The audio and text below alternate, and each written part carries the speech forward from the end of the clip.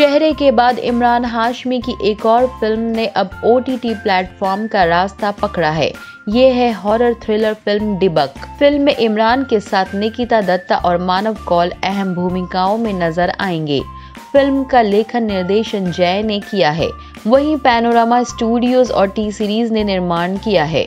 डिबक Amazon prime video पर 29 अक्टूबर को stream होगी। फ़िल्म का टीजर रिलीज़ हो गया है। इसमें इमरान हाशमी और निकिता दत्ता को फीचर किया गया है। टीजर में कुछ डरावनी गतिविधियाँ होती नज़र आ रही हैं। डिबक में संगीत क्लिंटन सर्जो का है, जो इसकी हाईलाइट है। टीजर के साथ लिखा गया है एक रहस्यमयी बॉक्स एक प्राचीन कुंजी।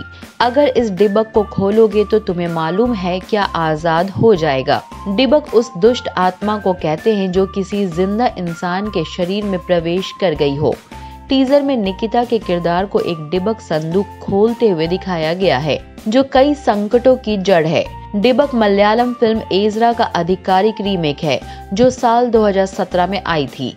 इस फ़िल्म का निर्देशन भी जय के ने ही किया था। इस फ़िल्म में पृथ्वीराज सुकुमारन मुख्य किरदार में थे। प्रिया आनंद और टोविनो थॉमस ने सहयोगी किरदार निभाए थे। फ़िल्म को क्रिटिक्स ने अच्छी रेटिंग दी थी। वहीं बॉक्स ऑफ़िस पर भी सफल रही थी। इमरान ने भी अपने करियर में कई हॉरर फ़िल्मों में काम किया है, जिनमें Raaz mystery continues, Raaz three, Ek Thi Daayan, राज रिबूट शामिल है।